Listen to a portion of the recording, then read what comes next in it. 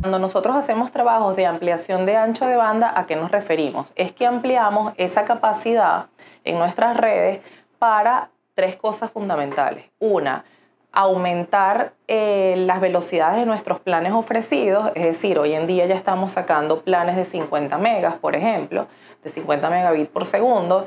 La segunda sería para incorporar nuevos abonados a, nuestra, a nuestras redes. Y la tercera, y creo que sería una de las más relevantes, es poderle garantizar a los abonados actuales los planes contratados.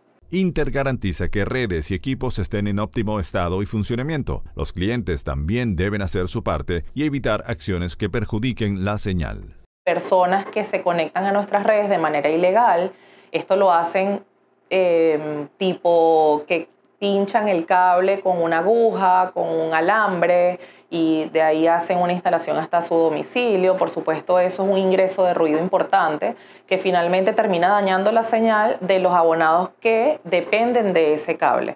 Otro, otro factor importante son las conexiones em, ilegales dentro del domicilio del abonado o los puntos adicionales que no están registrados dentro de la empresa. Entonces, cuando el abonado por cuenta propia decide hacer una extensión de las redes que nosotros inicialmente instalamos dentro de su domicilio, por supuesto todos estos valores se ven alterados. El usuario puede resolver sus necesidades en la plataforma de autogestión mi.inter.com.ve y también pedir asistencia técnica a más de 300 agentes autorizados, listado disponible en inter.com.ve agentes.